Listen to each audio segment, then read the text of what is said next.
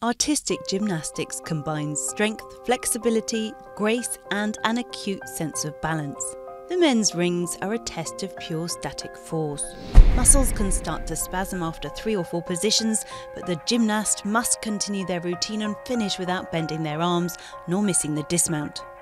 The most acrobatic apparatus are the floor and vault, with both men and women competing. Forwards or backwards somersaults coupled with full twists, gymnasts invent increasingly complicated routines. Momentum and correct body position are both vital for a good landing. It's impossible to stop a somersault or twist mid-air, while poor alignment can cause a serious injury. Catching the horizontal bar needs to be done carefully to avoid breaking a finger or even a hand. Gymnasts need to ensure they're neither too far from the bar nor too close to avoid losing momentum. In this exercise of perpetual motion for men, the gymnast needs to extend his joints to the limit by stretching shoulders almost to the point of dislocation. For men, most falls come from the pommel horse. Gymnasts need to constantly adjust their centre of gravity as they turn while remaining on top of the apparatus.